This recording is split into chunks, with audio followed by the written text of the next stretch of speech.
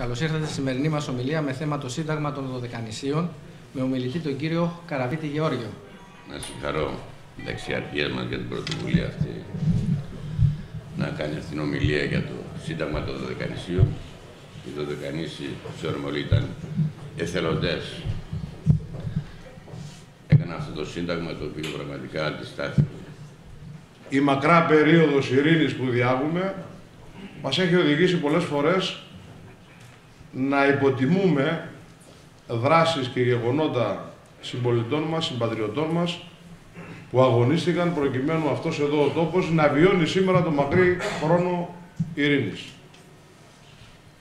Και είναι πολύ σημαντικό το θέμα της σημερινής συζήτησης, ανάπτυξης, ε, ανάλυσης, αφού σε μια περίοδο πάρα πολύ δύσκολη, ένας μεγάλος αριθμός συμπολιτών μας, δωδεκανησίων, Ελλήνων υπό Ιταλική κατοχή, όχι απλώς αποφάσισαν να συστρατευτούν στον αγώνα, αλλά έδωσαν και τη ζωή τους για την πατρίδα. Γι' αυτό αξίζει συγχαρητήρια και στον διοικητή της 80 ΑΘΕ, κυρίως στον διοικητή της 80 ΑΘΕ και στο σύνολο του στελεχειακού δυναμικού που επέλεξε να κάνει αυτή την εκδήλωση σήμερα. Να είστε καλά, καλή δύναμη στρατηγέ και όσο δυνατόν ψηλότερα.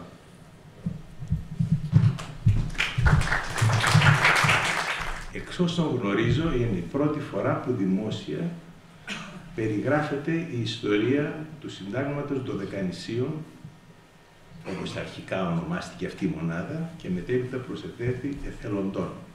Τα λέω καλά;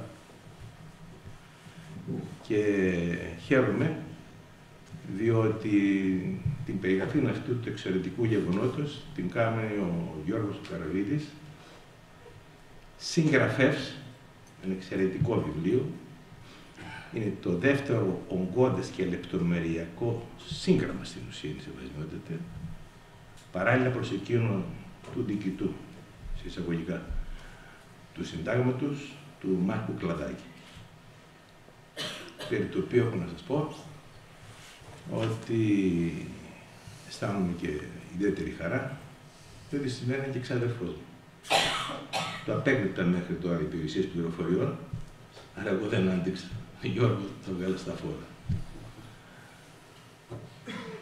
Αναμένω να ακούσω την διοίκηση και παρακαλώ να μου παραχωρήσει το δικαίωμα στο τέλος, κύριε Δεξίαρχε, εάν το εγκρίνετε, διότι και εγώ ως έφετρος αξιωματικός αναφέρω ότι ζητώ ετούμε αδείας, λέγαμε παλιότερα, ετούμε αδείας να κλείσω την ωραία αυτή εκδήλωση με κάποιες παρατηρήσεις επί του θέματος. Η εθελοντική τους προσφορά έγινε αποδεικτή από τη μετέρα Ελλάδα και οι δωδικανήσιοι αγωνιστές βρέθηκαν στο μέτωπο τόσο στην περιοχή της Κοριτσάς όσο και στη Μακεδονία, προσφέροντας πολύτιμες υπηρεσίες στον αγώνα του έθνους. Πιο κατάλληλος όμως για να μιλήσει για το Ερωικό Σύνταγμα είναι ο κ. Καραβίτης.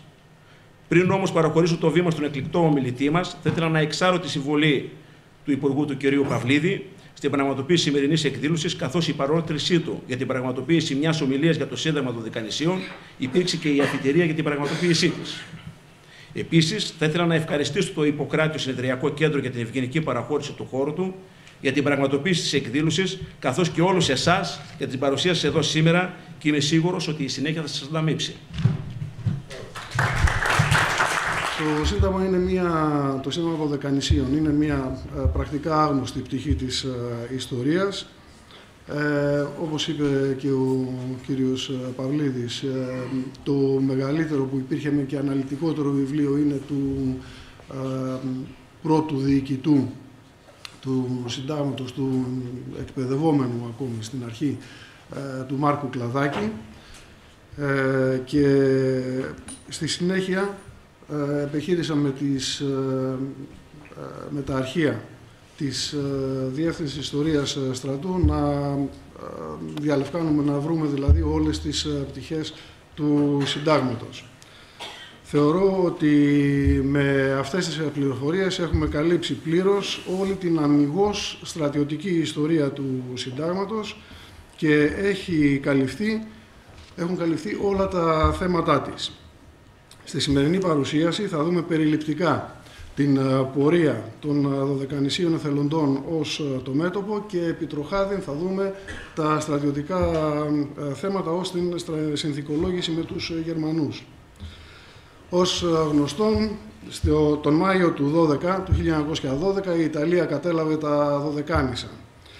Το 1936 η, η Δωδεκανήσι ήταν πλέον Ιταλοί υπήκοοι, αλλά η, η Ιταλική νομοθεσία ίσχυε μόνον εφόσον το αποφάσιζε ο τοπικός διοικητής των Δωδεκανήσων.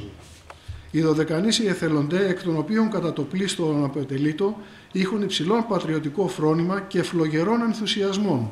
Εάν το σύνταγμα τούτο αντιμετώπιζε η σύγκρουση των εχθρών, υπό ιασδήποτε συνθήκας θα είχε ασφαλών, ασφαλώς αρίστην πολεμική απόδοση.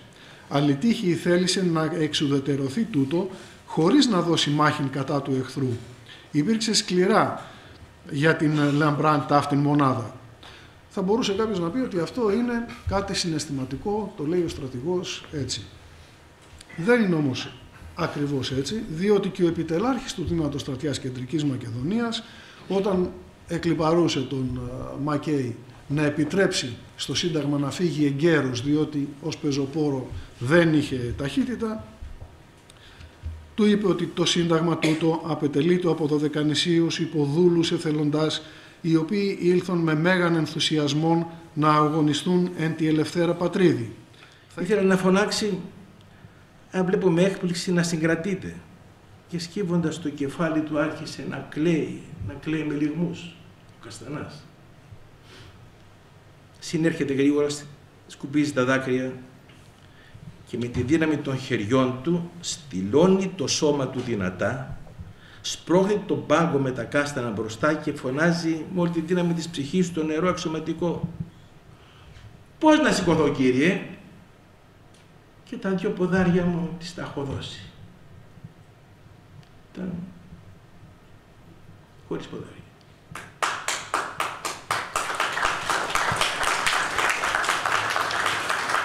Σηκώνει τα πατζάκια και φάνηκαν τα πόδια του κομμένα πάνω από τα γόνατα και ξαναρχίζει να κλαίει. Ο κόσμος κλαίει και χειροκροτεί.